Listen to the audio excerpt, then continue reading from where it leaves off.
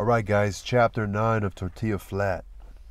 How Danny was ensnared by a vacuum cleaner and how Danny's friends rescued him. Dolores Engracia Ramirez lived in her own little house on the upper edge of Tortilla Flat. She did housework for some of the ladies in Monterey, and she belonged to the native daughters of the Golden West. She was not pretty, this lean faced paisana, but there was in her figure a certain voluptuousness of movement. There was in her voice a throatiness some men found indicative. Her eyes could burn behind a mist with the sleepy passion which those men to whom the flesh is important found attractive and downright inviting. In her brusque moments she was not desirable, but an amorous combination came about within her often enough so that she was called Sweets Ramirez on Tortilla Flat. It was a pleasant thing to see her when the breast in her was prowling, how she leaned over her front gate, how her voice purred drowsily, how her hips moved gently about, now pressing against the fence, now swelling back like a summer beach wave, and then pressing the fence again. Who in the world could put so much husky meaning into, Hey, amigo, a donde vas? It is true that ordinarily her voice was shrill, her face hard and sharp as a hatchet, her figure lumpy and her intention selfish. The softer self came into possession only once or twice a week, and then ordinarily in the evening. When Sweets heard that Danny was in error, she was glad for him. She dreamed of being his lady, as did every other female on Tortilla Flat. In the evening, she leaned over the front gate, waiting for the time when he could pass by and fall into her trap. But for a long time, her baited trap caught nothing but poor Indians and paisanos who owned no houses and whose clothes were sometimes fugitive from better wardrobes. Sweets was not content. Her house was up the hill from Danny's house. In a direction he did not often take, Sweets could not go looking for him. She was a lady, and her conduct was governed by very strict rules of propriety. If Danny should walk by now, if they should talk like the old friends they were, if he should come in for a social glass of wine, and then if nature proved too strong, and her feminine resistance too weak, there was no grave breach of propriety. But it was unthinkable to leave her web on the front gate. For many months of evenings she waited in vain and took such gifts as walked by in jeans, but there are only a limited number of pathways on Tortilla Flat. It was inevitable that Danny should sooner or later pass the gate of Dolores Engracia Ramirez, and so he did. And all the time they had known each other, there had never been an occasion when it was more to Sweets's advantage to have him walk by, for Danny, for Danny had only that morning found a keg of copper shingle nails lost by the Central Supply Company. He had judged them jetsam because no member of the company was anywhere near. Danny removed the copper nails from the keg and put them in a sack. Then, borrowing the pirate's wheelbarrow and the pirate to push it, he took his salvage to the Western Supply Company, where he sold the copper for three dollars. The keg he gave to the pirate. You can keep things in it, he said. That made the pirate very happy. And now Danny came down the hill, aimed with a fine accuracy toward the house of Torrelli, and the three dollars were in his pocket. Dolores's voice sounded as huskily sweet as the drone of a bumblebee. Hey, amigo, a donde vas? A donde vas? Danny stopped. The revolution took place in his plans. How are you, sweets? What difference is it how I am? None of my friends are interested, she said archly, and her lips floated in a graceful and circular undulation. What do you mean? he demanded. Well, does my friend Danny ever come to see me? I'm here to see thee now, he said gallantly. She opened the gate a little. Wilt thou come in for a tiny glass of wine in friendship's name? Danny went into her house. What hast thou been doing in the forest? she cooed. Then he made an error. He told vaingloriously of his transaction up the hill, and he boasted of his three dollars. Of course I have only enough wine to fill two thimbles, she said. They sat in Sweets's kitchen and drank a glass of wine. In a little while Danny assaulted her virtue with true gallantry and vigor. He found to his amazement a resistance out of all the proportion to her size and reputation. The ugly beast of lust was awakened in him. He was angry only when he was leaving was the way made clear to him. The husky voice said, Maybe you would like to come and see me this evening, Danny. Sweet's eyes swam in a mist of drowsy invitation. One has neighbors, she suggested with delicacy. Then he, then, uh, then he understood. I will come back, he promised. It was mid afternoon. Danny walked down the street, re aimed at Torrelli's, and the beast in him had changed. From a savage and snarling wolf, it had become a great, shaggy, sentimental bear. I will take the wine to that nice Sweets, he thought. On the way down, whom should he meet but Pablo, and Pablo had two sticks of gum. He gave one to Danny and fell, fell into step. Where goest thou? It is no time for friendship, Danny said tartly. First I go to buy a little wine and take to a lady. You may come with me and have one glass only. I am tired of buying wine for ladies, only to have my friends drink it all up. Pablo agreed that such a practice was unendurable. For himself, he didn't want Danny's wine, but only his companionship. They went to Torrelli's. They had a glass of wine out of the new bought gallon. Danny confessed that it was shabby treatment to give his friend only one little glass. Over Pablo's passionate protest, they had another. Ladies, Danny thought, should not drink too much wine. They were apt to become silly and besides it dulled some of those senses one liked to find alert in a lady. They had a few more glasses. Half a gallon of wine was a bountiful present, especially as Danny was about to go down to buy another present. They measured down half a gallon and drank what was over. Then Danny hid the jug in the weeds in a ditch. I would like you to come with me to buy the present, Pablo, he said. Pablo knew the reason for the invitation. Half of it was a desire for Pablo's company, and half was fear of leaving the wine while Pablo was at large. They walked with studied dignity and straightness down the hill to Monterey. Mr. Simon of Simon's Investment Jewelry and Loan Company welcomed them into his store. The name of the store defined the outward limits of the merchandise the company sold, for there were saxophones, radios, rifles, knives, fishing rods, and old coins on the counter. All second hand, but all really better than new because they were just well broken in. Something you would like to see, Mr. Simon asked. Yes, said Danny. The proprietor named over a tentative list and then stopped in the middle of a word, for he saw that Danny was looking at a large aluminum vacuum cleaner. The dust bag was blue and yellow checks. The electric cord was long and black and slick. Mr. Simon went to it and rubbed it with his hand and stood off and admired it. Something in a vacuum cleaner, he asked. How much? For this one, fourteen dollars. It was not a price so much as an endeavor to find out how much Danny had, and Danny wanted it for it was large and shiny. No woman of Tortilla Flat had one. In this moment he forgot there was no electricity on Tortilla Flat. He laid his two dollars on the counter and waited while the explosion took place. The fury, the rage, the sadness, the poverty, the ruin, the cheating. The polish was invoked. The color of the, the polish was invoked. The color of the bag, the extra long cord, the value of the metal alone and when it was all over, Danny went out carrying the vacuum cleaner. Often as a pasatiempo in the afternoon, Sweets brought out the vacuum cleaner and leaned it against a chair. While her friends looked on, she pushed it back and forth to show how easily it rolled, and she made a humming with her voice to imitate a motor. My friend is a rich man, she said. I think pretty soon there will be wires full of electricity coming right into the house. And then zip and zip and zip, and you have the house clean. Her friends tried to belittle the present, saying, It is too bad you can't run this machine and I have always held that a broom and a dustpan properly used are more thorough. But their envy could do nothing against the vacuum. Through its possession, Sweets climbed to the peak of the social scale of Tortilla Flat.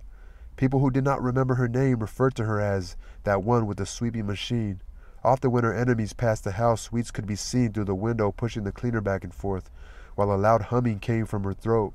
Indeed, after she had swept her house every day, she pushed the cleaner about on the theory that of course it would clean better with electricity, but one cannot have everything.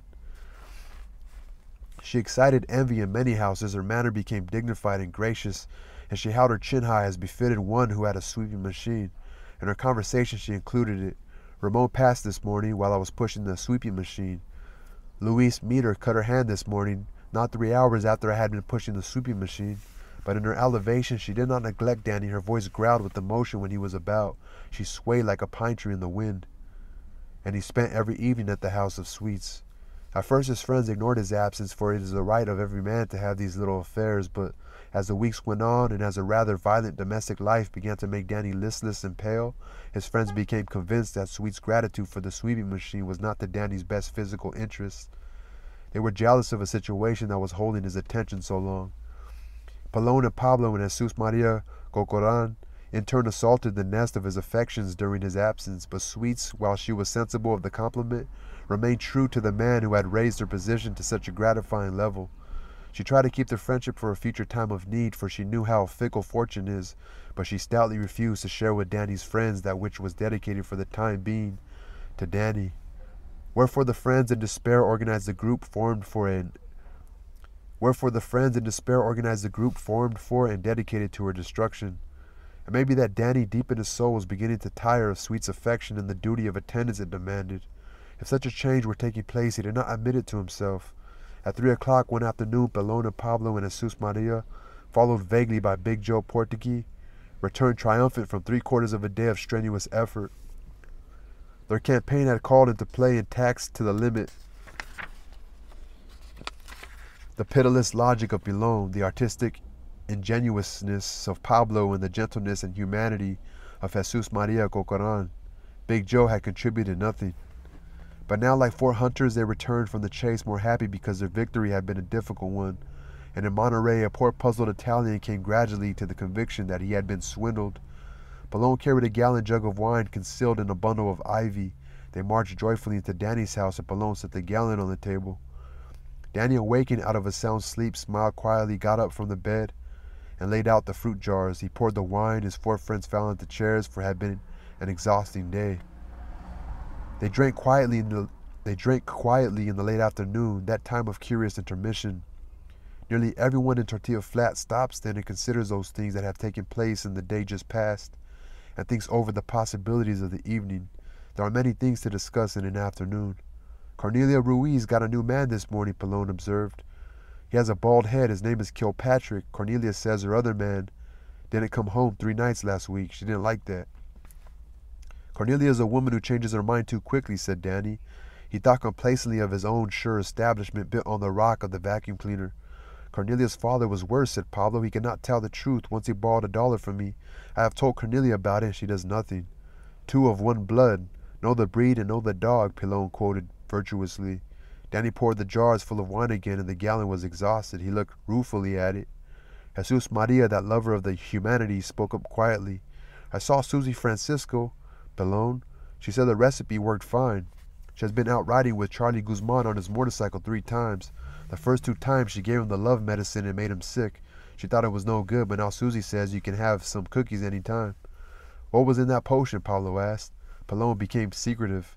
I cannot tell all of it. I guess it must have been the poison oak in it that made Charlie Guzman sick. The gallon of wine had gone too quickly. Each of the six friends was conscious of a thirst so sharp that it was a pain of desire. Pilon looked at his friends with drooped eyes, and they looked back at him. The conspiracy was ready. Pilon cleared his throat.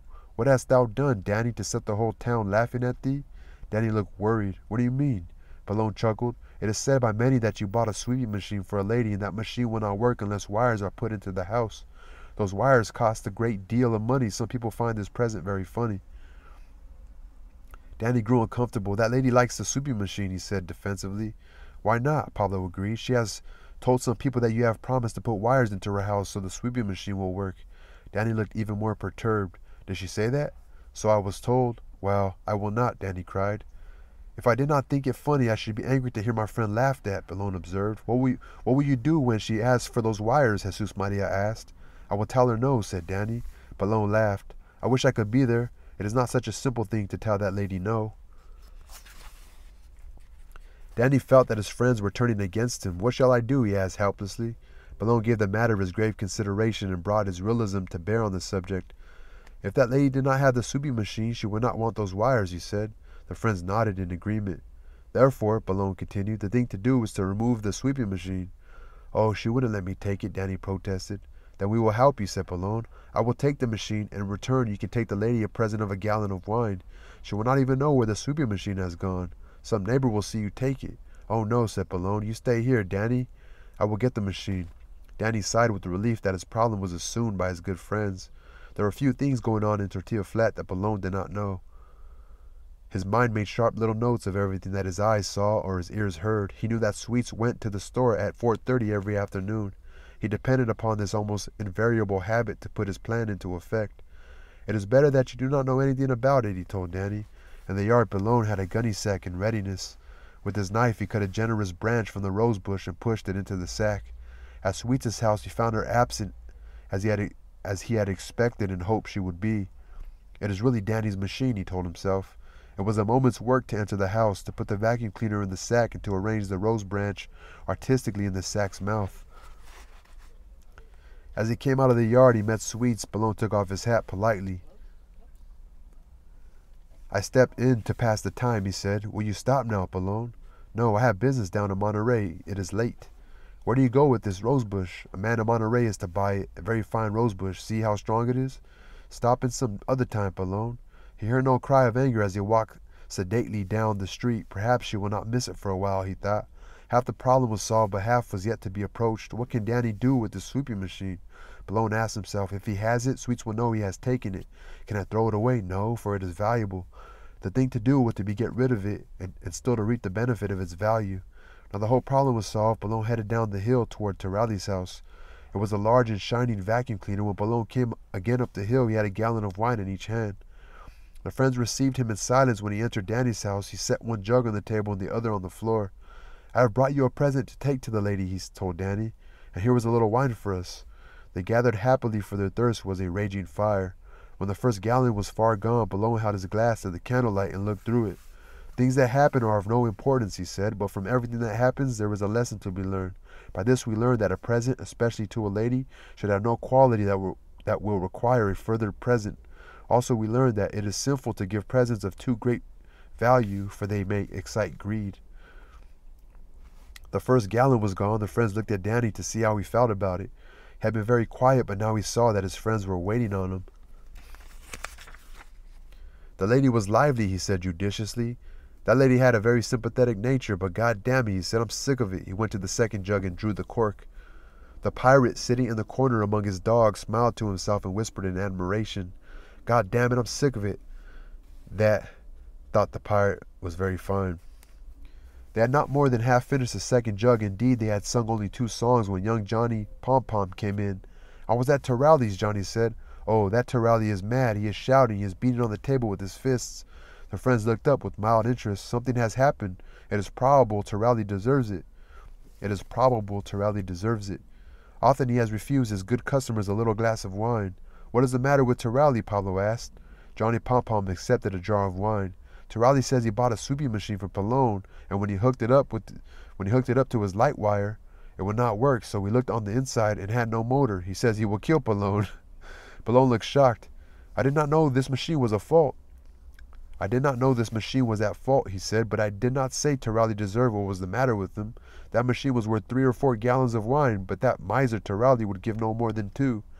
Danny still felt the glow of gratitude toward Pilon. He smacked his lips on his wine.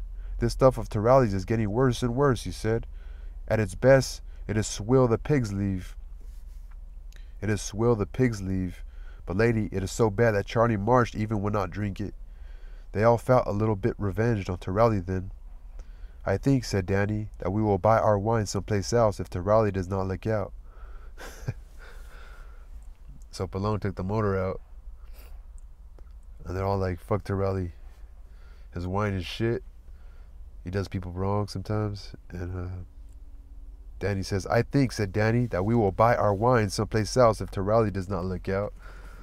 They're kind of like threatening him to not take their business to him. That's just funny. funny, funny, funny. Peace.